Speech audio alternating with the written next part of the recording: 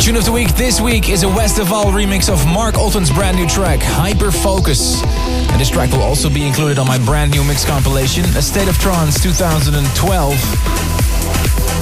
My new compilation includes some brand new productions of my own, including the new Gaia. I'll play that for you in one of the next episodes of A State of Trance, but let me give you a little hint. It's French. This week, and I hinted you a little bit about it last week, the premiere of the very first single of Paul van Dyk's brand new album, Evolution.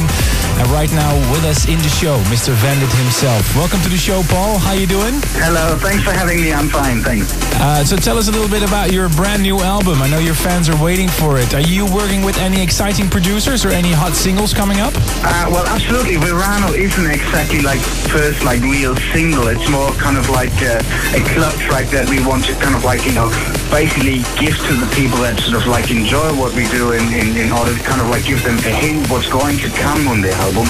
And uh, so, you know, that's like really exciting. The first single is actually, uh, uh, it's called Eternity. It's going to be a collaboration with Adam Young that you are very familiar with as well. And I've been working with Arty, with Austin Leeds and, and many more. So.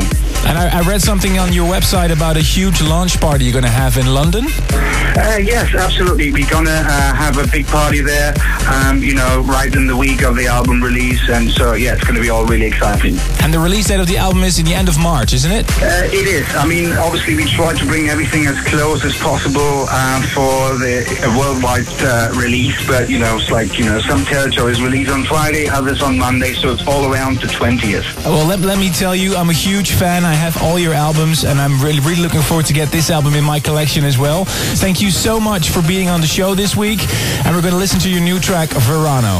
Thank you very much. Have a good one. Thank you.